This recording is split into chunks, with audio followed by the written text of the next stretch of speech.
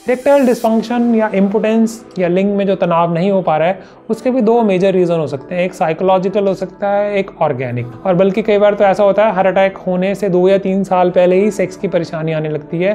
Pornography बहुत ज़्यादा consume करते थे या डेली बेसिस पे घंटे के हिसाब से वो पोर्नोग्राफी देखते थे। तो ये जो सारे रीजंस हैं, इसका मतलब है कि साइकोलॉजिकल कॉज है, इसके लिए कोई भी महँगी इन्वेस्टिगेशन या टेस्ट कराने की ज़रूरत नहीं है। नमस्कार। दोस्तों, आज हम बात करेंगे बहुत ही इंपॉर्टेंट टॉपिक की, वो है इरेक्टाइल डिस्फंक्शन इरेक्शन का मतलब होता है लिंग में तनाव होना और डिस्फंक्शन का मतलब होता है उसमें कोई होने वाली परेशानी। इरेक्टाइल डिस्फंक्शन की अगर हम डेफिनेशन पॉइंट ऑफ़ व्यू से बात करेंगे, अगर कोई सेक्स करने जाता है और पिचहत्तर से सौ परसेंट मामलों में, तीनों में से, तीन में से कोई एक चीज़ उनको होती है, क्या होता है? पहला ये कि इरेक्शन होती ही नहीं है अटेन ही नहीं हो पाती इरेक्शन दूसरा है कि मेंटेन नहीं हो पाती मेंटेन का मतलब है कि वो उतनी देर तक कर ही नहीं पाते कि वो एक दो स्ट्रोक किए और उसके बाद जो है वो इरेक्शन चला गया। उसके बाद तीसरा है इसमें कि रिजिडिटी उतनी तनाव उतना सख्त नहीं हो पाता जितना कि पहले कभी हुआ करता था।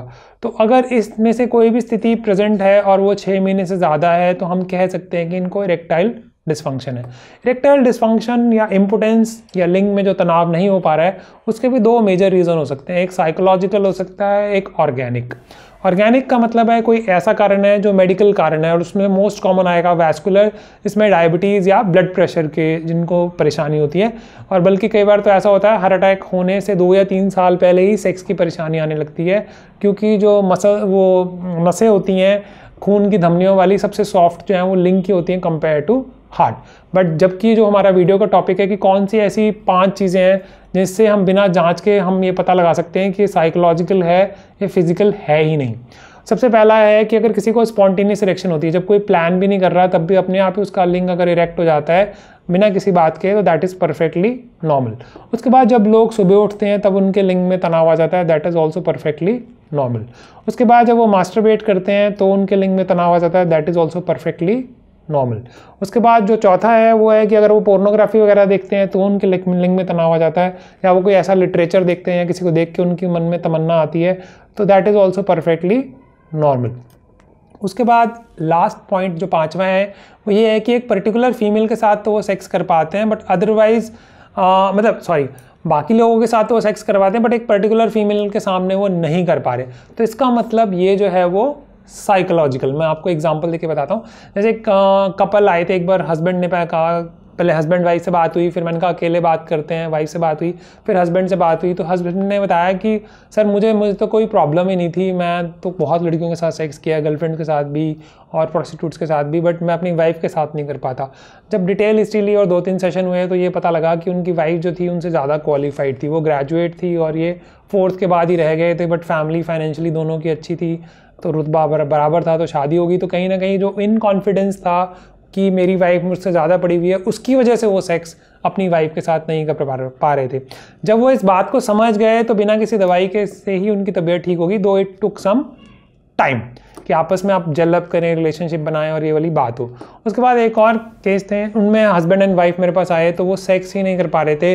और इस केस में उन्होंने कभी किसी के साथ बाहर सेक्स नहीं किया, ना कभी किसी फीमेल के साथ सेक्स किया। बट उनकी जो खास बात पता लगी वो ये कि वो पोर्नोग्राफी बहुत ज़्यादा कंज्यूम करते थे या डेली बेसिस पे घंटे के हिसाब से वो पोर्नोग्राफी देखते थे। अब पोर्नोग्राफी में क्या होता है आपकी उम्मीदें जो हैं वो बहुत ज़्यादा बढ़ जाती हैं। जैसे आपको पेस्ट्री खाने की आदत पड़ जाए या गाजर का हलवा तो फिर आपको घर का खाना जो है उतना टेस्टी नहीं लगेगा। और दूसरी बात यह है कि पोर्नोग्राफी में वो चीज़ें दिखाई जाती हैं जो प्रैक्टिकली पॉसिबल ही नहीं होती, जितने लंबे समय तक दिखाई जाती हैं। तो ऐसी गलत सी एक्सपेक्टेशंस रख दी जाती हैं जो एक नॉर्मल फीमेल तो फुलफिल नहीं कर पाएगी। जब उन्होंने पोर्नोग्राफी को पूरे छः से नौ महीने के लिए कम्प्लीटली छोड़ दिया उसके बाद वो अपनी नॉर्मल वाइफ के मतलब अपनी वाइफ के साथ नॉर्मली सेक्स कर पाए और एक साल के बाद मतलब एक साल, शादी के एक साल के बाद उनकी वाइफ जो है वो प्रेग्नेंट भी हो गई। तो साइकोलॉजिकली मैं रिपीट करूँगा समराइज़ करने के लिए पाँच चीज़ें हैं जिनसे हम पता लगा सकते हैं कि कोई भी टेस्ट कराने की ज़रूरत नहीं है। एक ये कि कभी भी इरेक्शन हो जाता है, अपने आप जब सेक्स प्लान भी नहीं करते, दूसरा ये कि जब मास्टर वेट करते हैं तो इरेक्शन हो जाता है। तीसरा ये कि जब मॉर्निंग में सुबह उठते हैं तो इरेक्शन हो जाता है। चौथा ये कि अगर कोई पोर्नोग्राफी या कोई ऐसा लिटरेचर पढ़ते हैं या देखते हैं तो इरेक्शन हो जाता है। या एक, बाकी जगह तो इरेक्शन हो जाता है, एक पर्टिकुलर फीमेल के साथ इरेक्शन नहीं हो पा रहा।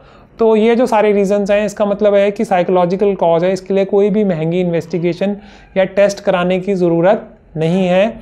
अगर आप अपने मतलब आप खुद समझ पाते हैं या नहीं समझ पाते तो एक प्रोफेशनल साइकैट्रिस्ट या सेक्सोलॉजिस्ट जिनसे भी आप मिलना चाहते हैं, उनसे मिल सकते हैं, जो आपकी प्रॉब्लम का हल जो है वो कर देंगे। क्योंकि एक बार तो एक केस में ऐसा भी हुआ था कि एक लड़का था, उसकी गर्लफ्रेंड थी, उसकी नई गर्लफ्रेंड बन गई तो उसकी जब पुरानी गर्लफ्रेंड मिली और उसने ऑफ़र दिया कि you can have sex with me today but वो नहीं कर पाया तो वो घबरा गया था। मैंने कहा, इसमें कोई घबराने वाली ज़रूरत नहीं है। कहते, नहीं सर, मेरी मेल ही को तो लग गई। इनका वो that is a different issue otherwise you are perfectly normal because you are able to have sex prior to your girlfriend also जो एक्स हो गई थी, और उसके साथ भी जो अभी करंट थी बट इट इज़ ओनली कई बार क्या होता है, जब आप बहुत ज़्यादा कमिटेड होते हैं एक रिलेशनशिप में, या आप सच में प्यार, मोहब्बत करते हैं, अपने करंट रिलेशनशिप में तब भी आपको एक बाहर फीमेल के साथ सेक्स करने में इरेक्शन में प्रॉब्लम आ सकती है। ऐसे मैंने एक और केस भी देखा था, जिसमें उनकी उम्र लगभग पचपन साल की थी, और वो काफ़ी रिलीजियस बाय नेचर थे, और उनकी जो अफेयर चला वो पड़ोस वाली बंदी से चला जो थर्टी फाइव ईयर्स की थी।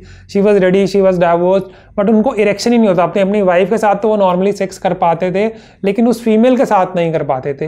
तो that is reason because of the psychological causes तो आज के लिए इतना ही। धन्यवाद।